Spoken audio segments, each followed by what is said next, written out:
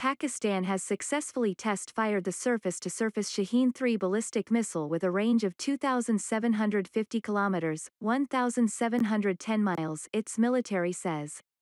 The flight test was aimed at the revalidating various design and tech parameters of weapon system, the military's media wing said.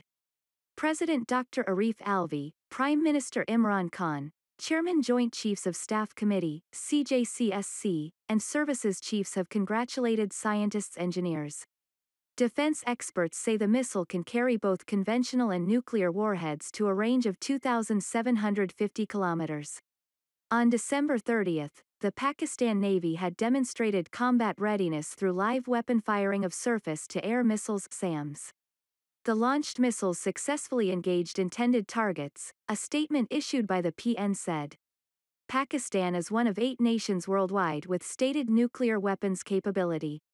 Chief of Naval Staff Admiral Muhammad Amjad Khan Niazi graced the occasion as chief guest. He expressed satisfaction over operational readiness of Pakistan Navy to defend national maritime interests.